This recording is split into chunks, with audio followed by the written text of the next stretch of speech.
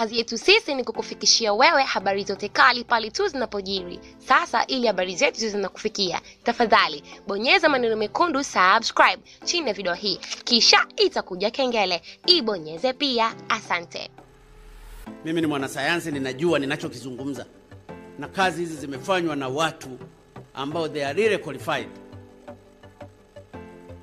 Kwa hiyo nairudia kuwaeleza Watanzania, bado tuko kwenye elementary stage, tusipaniki,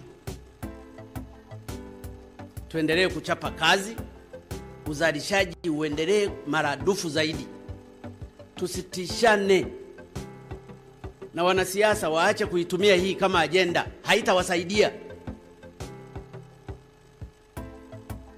Mtu anazungumza funga Dar es Salaam, funga Tanga, funga. Sifungi, nilishasema ni lazima Watanzania tuishi, tuchape kazi na tuendelee kuchukua precaution.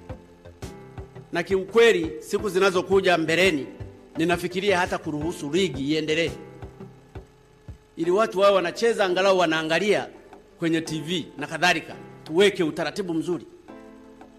Kwa hiyo natoa wito kwa Watanzania, msiwe na hofu, na hasa kwa wale ambao bado hawajachoka hata hajaumia. Kwa nini uwe na hofu? Mbona mafua yamekuwepo, ila haya ni mafua ambayo yako advanced, nayo yatapita. Lakini kile kitendo cha kukuta hata papai la kula nalo lina korona mule ndani, wala si kwa ganda kwa juu, kwa sababu zile sample zingechukuliwa kwa juu, wangesema labda aliyeligusa ana korona, lakini wametoa with specifications kabisa vizuri, wakachoma ndani mle, wakaingiza kile kiswapu. Wangeweza wakasema huyu mbuzi labda ali alishikwa akaingiwa ndani na mtu akampa korona, lakini mbuzi awe na korona, fenesi liwe na korona, papai liwe na korona, ndege kama kwale awe na korona.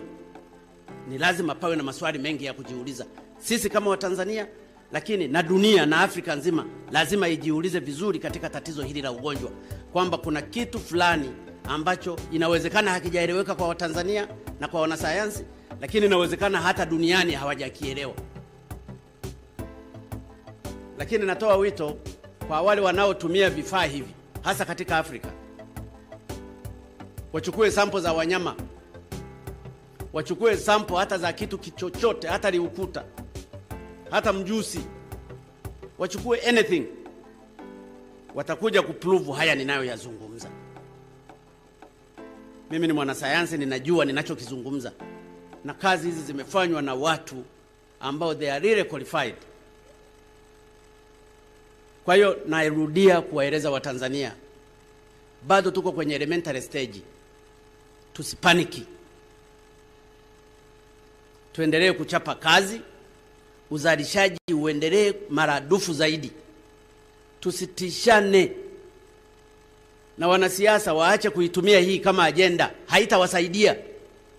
Ili kuwa mwanafamilia bora wa Limo Media, usisahau kusubscribe, kucomment, kulike na kushare.